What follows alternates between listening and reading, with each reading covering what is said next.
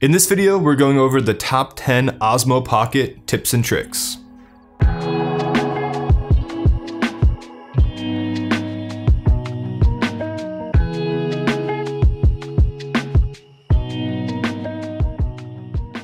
Hello everyone, my name is Keith, and in this video we're going over the top 10 Osmo Pocket tips and tricks. I've been using this camera for a few months now, and there are a few things that I learned, and there are a few things that if you do them correctly, you'll get really good results from this camera.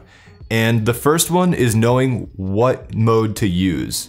Do you need to use follow, tilt lock, or FPV mode? because they all act very differently, but they can all give you really good results in certain situations. To go over the modes really quickly, follow mode will follow the direction you're pointing the Osmo Pocket. Tilt locked will lock on the horizon no matter what way you're moving the gimbal. And FPV mode will move with the camera. They all act very differently, but they can all give you pretty cool results. Tip number two is know when to use the follow speeds. You can use fast follow or slow follow. When you're trying to get cinematic footage, using slow follow will give you very smooth results. But if you're going for action, definitely toggle over to fast follow. In fast follow mode, you can capture action a lot better, but it is not as forgiving as slow mode and smoothing out those actions. So you have to be really mindful of moving the gimbal in fast follow mode. When it comes to changing follow speeds, it seems like tilt lock and follow modes are more responsive to the slow and fast follow. FPV mode that I'm in right now just seems to be responsive all the time. That's just something to keep in mind when you're using FPV mode. Tip number three is using Active Track. The Osmo Pocket has really good tracking, and whenever you lock onto a subject, you can walk pretty much anywhere and it will still target that subject, as long as you keep it within the frame and it doesn't overlap another object. It does kind of lose things if there's uh, something in the foreground and your object's in the background. When you keep moving, it'll try its best to lock on, but in my experience, it doesn't do well when you lose the subject. But if you can keep the subject somewhat within frame, the Osmo Pocket does a really good job at tracking it.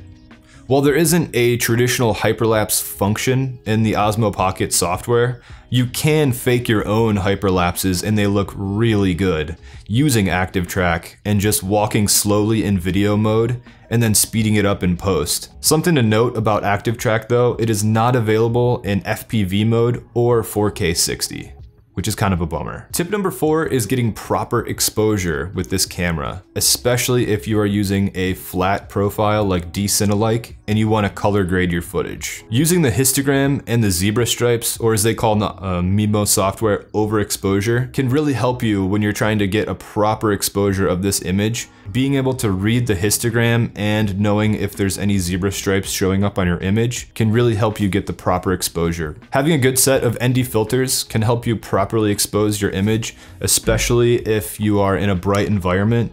I have the Polar Pro ND 4, 8, and 16 filters. I find myself using the ND 8 a lot uh, in the middle of the day. The ND 16 is probably something I would use in the middle of summer. Uh, in Ohio, uh, the wintertime is pretty dark, so uh, ND4 and ND8 are usually my go-tos here. But without those filters, I definitely could not get a properly exposed shot adhering by the 180 degree shutter rule. Also, if you're setting exposure using your phone, be mindful not to cover the ambient light sensor because that will affect the uh, brightness of your screen. The fifth tip is motion lapses and time lapses. Motion lapses are really easy to create with the Osmo Pocket and they might be my favorite feature of this whole camera.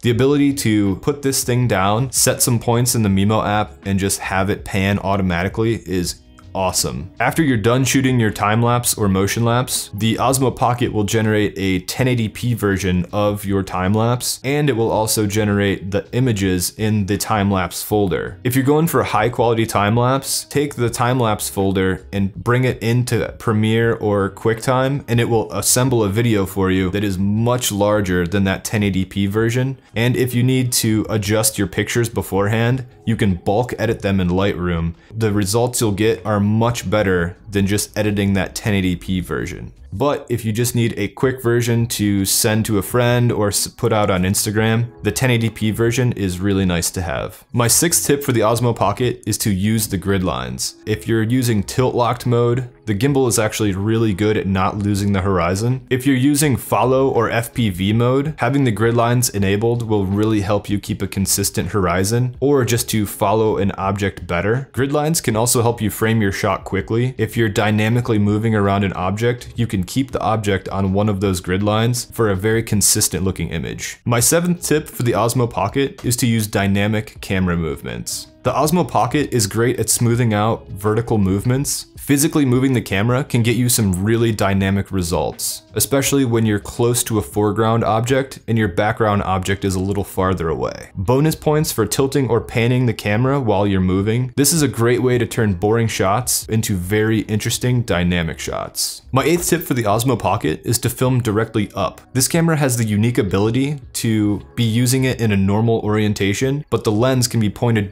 directly up at the sky can give you some really unique results that you don't really see every day. My ninth tip for the Osmo Pocket is to use accessories. And in my pros and cons video, I went over that if you buy the Osmo Pocket, you'll probably need some accessories to go along with it to get the most out of your Osmo Pocket. The good news is the Osmo Pocket can be adapted to the GoPro action camera style mounting system. So if you're a GoPro user, you can use all of your existing mounts if you buy an Osmo pocket holder to go into your GoPro mounts. If you don't have a GoPro already, you can buy a cheap accessory kit on Amazon that comes with the Osmo pocket holder to action camera mount, and this is mounted to the quarter 20 tripod adapter. So I can now mount this on any quarter 20 tripod screw and stick it anywhere.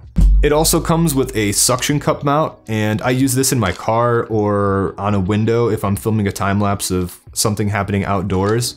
And it's a little clunky and big, but it works pretty well. The kit on Amazon also comes with a bike mount and a cheap tripod and a cheap um, selfie stick. The 10th tip for the Osmo Pocket is to make sure you have enough space on your memory card before you go out and film. But if you don't have enough space or you fill up your memory card while you're shooting and you don't have another one, the Osmo Pocket will use your phone's camera roll as a memory card and you can continue to film on your Osmo Pocket as long as your phone has enough storage. A few quick bonus tips about the Osmo Pocket you can listen to headphones and listen to music while you're filming on the Mimo app. I went out and took this on the trail by our house, and I usually have headphones in when I'm walking on the trail. And without even thinking, I was listening to music and I went to record. And usually, when I record on my phone's app, it pauses my music. But I was really pleasantly surprised that recording on the Mimo app didn't pause my music. It made walking on the trail really fun. If you're using a phone and Osmo holder and you're recording audio with the Osmo Pocket, I would recommend putting your phone in airplane mode because I got a text while I was filming and it sounded like a swarm of bees was by my Osmo Pocket. Uh, the microphone is on the bottom and on the side, and it's right next to your phone. So all of the audio was completely trashed. The video was fine, however, though. I was really surprised that it didn't have that shake whenever you get a text. So I recommend putting your phone in airplane mode if you're going to use this with a holder. My final tip for the Osmo Pocket is to turn the volume down on your phone all the way if you're using the Mimo app. Because if you accidentally hit that S for the story mode on the top right hand corner of the screen, music will blast out of your phone's speakers immediately and there's no way to like immediately silence it. You have to go back. And if you're in a quiet room, it will take a lot of people off guard. I'm speaking from experience on this one and I've only made that mistake once and I will never make it again. Thank you for sticking around to the end of the video. This is by no means an exhaustive 10 tips and tricks for the Osmo Pocket list, but these are the ones when I was using the Osmo Pocket for the last few months. These ones came up over and over again, so I thought it would be great to compile them into a video for you guys. If you would like to see more videos like this, please let me know in the comments down below. If you like this video, give it a thumbs up. If you're new here, please consider subscribing. I'm making a lot more Osmo Pocket and drone videos in the future, and I would love to have you guys around. And I'll see you in the next one.